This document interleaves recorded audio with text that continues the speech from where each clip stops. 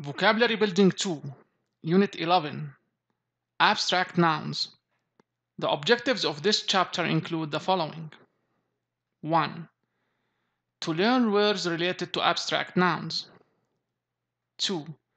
To use those words in meaningful sentences. Now, listen to the video of this unit. Abstract nouns. Abstract nouns.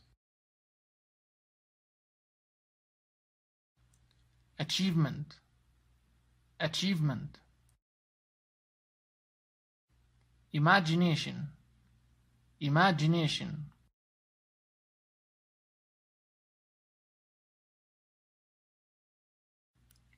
Carelessness.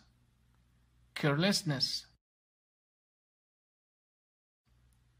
Curiosity.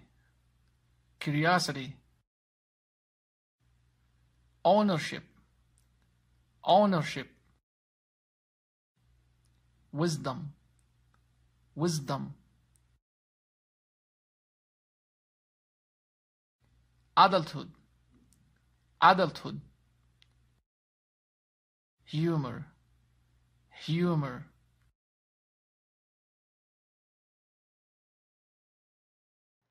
Exercise. What is the abstract noun related to each of the following adjectives? Number one, kind.